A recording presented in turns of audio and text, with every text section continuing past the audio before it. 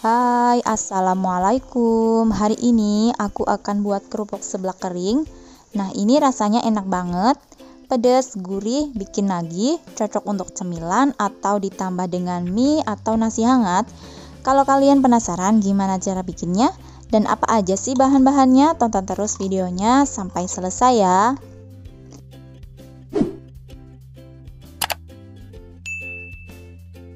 Langkah pertama, kita siapkan wajan dan masukkan 250 gram kerupuk warna-warni.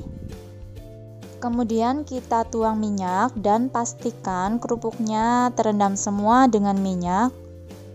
Dan kita rendam kerupuk kurang lebih satu jam. Ini merendamnya dalam keadaan apinya belum dinyalakan ya, Mengapa direndam? Supaya kerupuk tidak mengembang saat digoreng? Karena ciri khas seblak kerupuk itu setengah bantat. Sambil menunggu kerupuknya direndam, kita siapkan teflon dan masukkan sedikit minyak. Kita goreng daun jeruk 5-10 lembar. Kita goreng sampai kering untuk taburan. Daun jeruk ini untuk menambah harum seblaknya nanti ya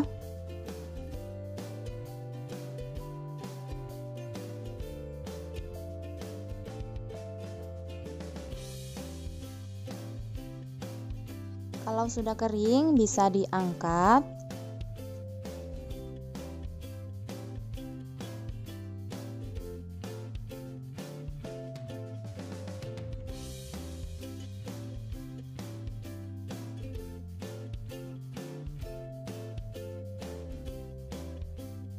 Kemudian kita goreng kencur yang diiris tipis-tipis supaya bisa kering.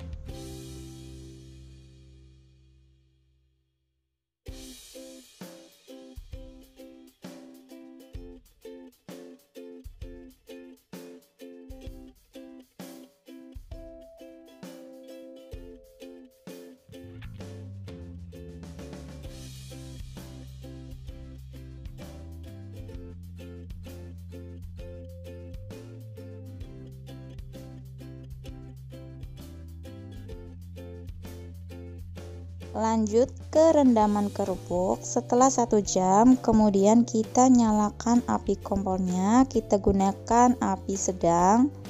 Dan setelah minyaknya panas kemudian berbuih seperti ini.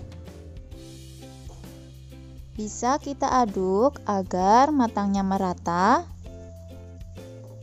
Setelah sedikit mengembang besarkan apinya dan goreng hingga kekuningan Nah seperti ini ya setengah mengembang. Jadi dalamnya nggak keras.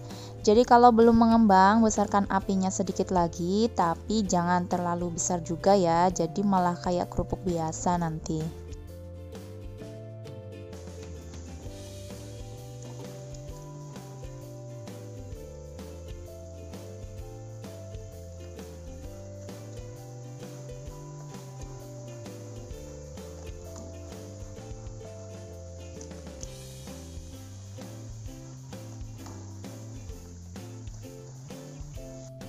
Selanjutnya kita angkat dan tiriskan, biarkan dingin hingga minyaknya turun.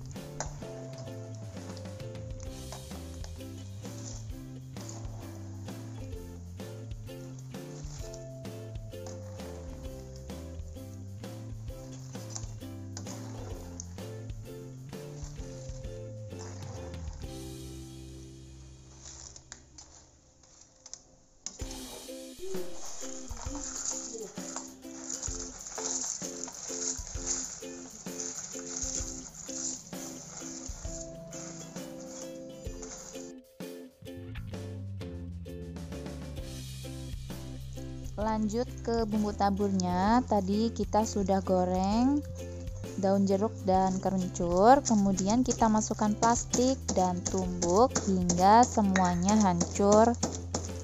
Tujuan pakai plastik agar bumbunya terpakai semua ya nggak nempel di blender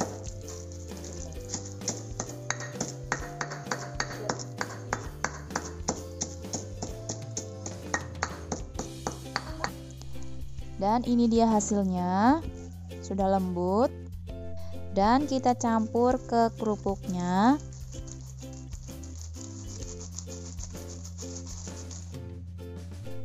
Terakhir, kita tambahkan bon cabe, garam, dan kaldu bubuk sesuai selera.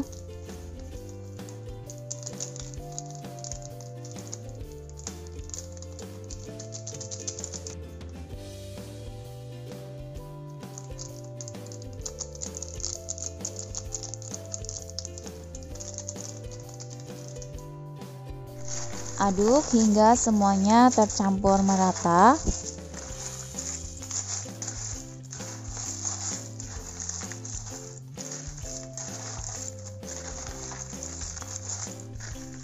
Dan ini dia kerupuk seblak keringnya sudah jadi, rasanya super gurih, enak, kriuk-kriuk, pedas, cocok untuk cemilan di rumah.